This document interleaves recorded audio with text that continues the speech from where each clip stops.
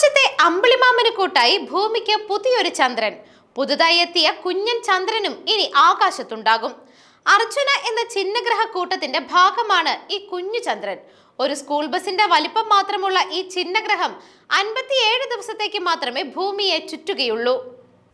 Two thousand twenty four P T five എന്നു പേരുള്ള ചിഹ്നഗ്രഹത്തിനെയാണ് mini moon എന്ന് വിളിക്കുന്നത്.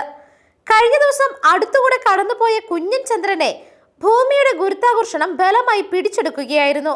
അൻപത്തിയേഴ് ദിവസത്തേക്ക് മാത്രമേ ഈ കുഞ്ഞൻ ചന്ദ്രൻ ഭൂമിയെ ചുറ്റുകയുള്ളൂ.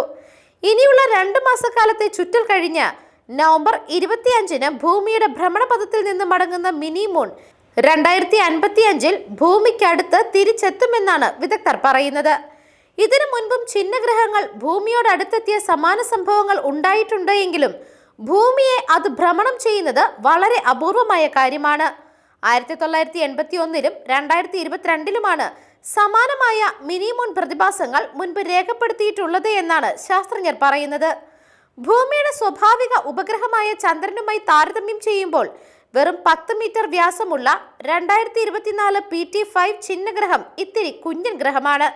ഈ ചിഹ്നഗ്രഹത്തെ പ്രത്യേക ഉപകരണങ്ങളില്ലാതെ നഗ്നനേത്രങ്ങൾ കൊണ്ട് കണ്ടെത്തുവാൻ കഴിയില്ല.